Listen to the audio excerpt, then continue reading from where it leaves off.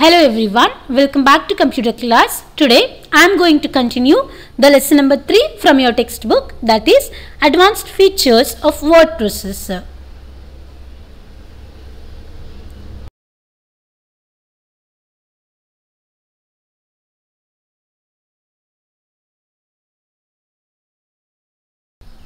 First is content, first one header and footer, second inserting columns, third page break and line break, next is working with tabs. First is about header and footer.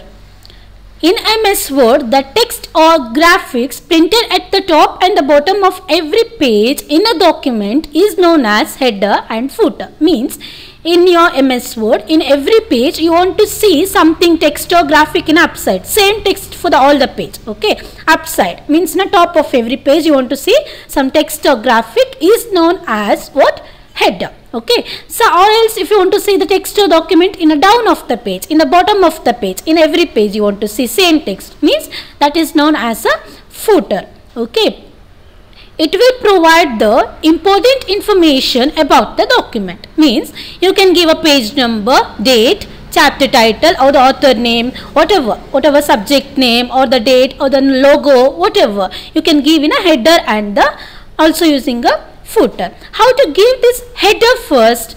You need to follow some of the steps to insert header to your MS Word document. Step 1. Open the document. Open the document in the sense what? To which document? To which page or to which uh, uh, document data? To which document you are going to give the header? You need to open that first. Step 2. Click insert tab. Okay you need to click the insert tab. Next of the home tab only you will get the insert tab. You can see this image right? In this next to home tab only you will get the insert tab. You need to click this insert tab. Step 3 click header option. After you will click on you will click on insert tab right? Afterwards you will get so many information in that header option will be there. You need to click the header option. See this header footer page number we are going to discuss about header right? So you need to click on the header option.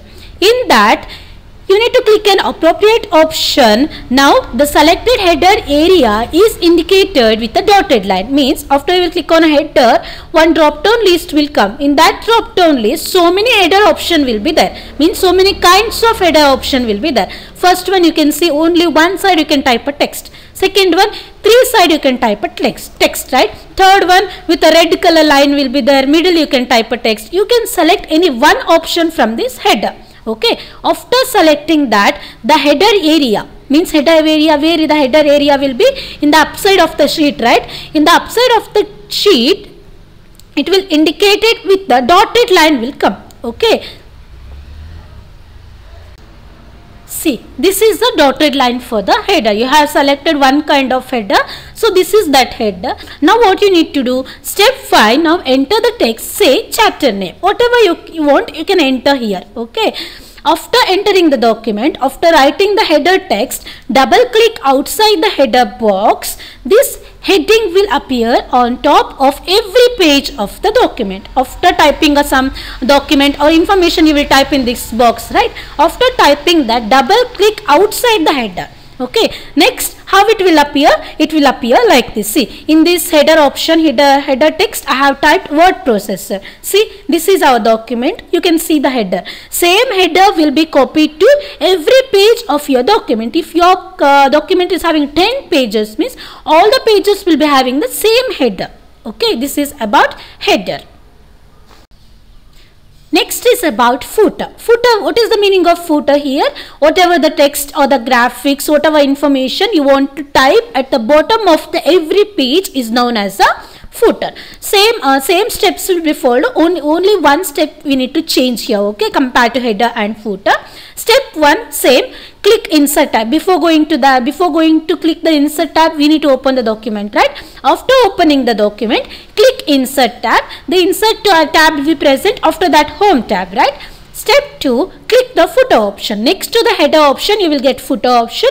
Click the footer option. Same as it is, one drop down list will come. In that drop down list, select any one type of footer from that drop down list. Okay, you need to select one type of footer from that. Step 4, type the text in a footer area. After selecting the one type of footer, the down of the uh, the current page will become with a dotted line okay? Now you need to type the text in that footer area which type of text you want Afterwards, then double click outside the footer area.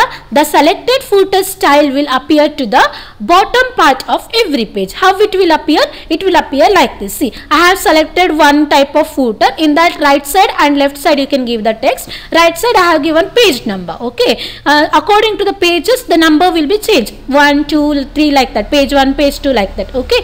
Here, right, uh, left side I have given the text okay you can give any kind of text. Here i have given the text as computer. This is about header and the footer. You are going to give the text or graphic to the top of the sheet is known as a header. Or else if you want to give the text to the bottom of the sheet is known as a footer Next is about page break and line break. Here first what is the meaning of page break? It is a feature that indicates the end of the current page and beginning of the next page. Means in a one page you are going to end the in the one page you are making the two part and you are making the second half part to the second page. Okay. Means the indication of a page break is done by keeping the position of the cursor in a document okay? Where you want to break the page. In a one page i have typed so many things. Okay? Last paragraph i want to see in a second page. What i will do usually? Beginning of the last paragraph i'll keep the cursor. Usually what we will do? Okay? Normal step. We will keep the cursor beginning of that paragraph and i'll press enter so many times. What it will happen?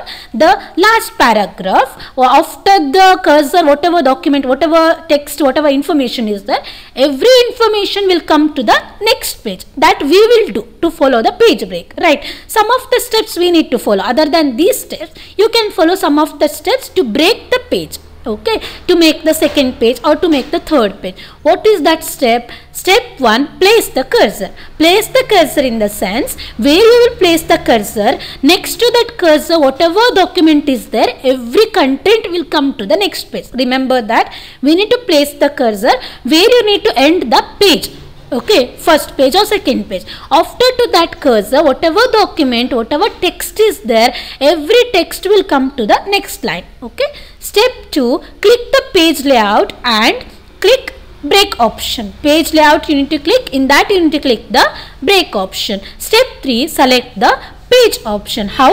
You can see this window. Step 1 you need to keep the cursor first. Remember that. Then you need to click the page layout option. Afterwards you need to click break option. Okay? In that break option you will get one drop down list. In that so many options will be there. Now we are going to dis we are discussing about page break right? So we need to click the page break. Okay? After the cursor whatever text is there every text will come to the next line next page of the document. This is about page break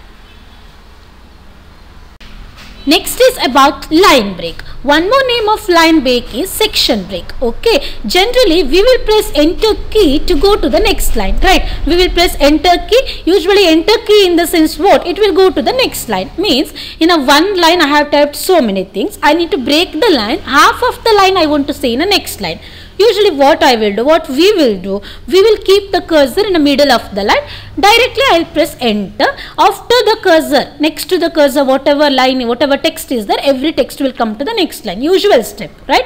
That is about line break right we will press enter key to do perform the line break option. Instead of that we can follow some other steps okay? What is that step? Set the cursor position. Cursor position we need to keep. After the cursor position whatever text will be there every text will come to the next line. Remember that okay? Based on that we need to keep the cursor position. Step 2, click page layout option. In that, select break option. Step 3, select continuous okay you can see this window. First step we need to keep the cursor position first. Remember that. Next click the page layout option. In that you need to click the break option. In that break option you are performing the line break means section break right? So you need to click the option continuous. Then after the cursor whatever text is there every text will come in the next line. That is about section break or line break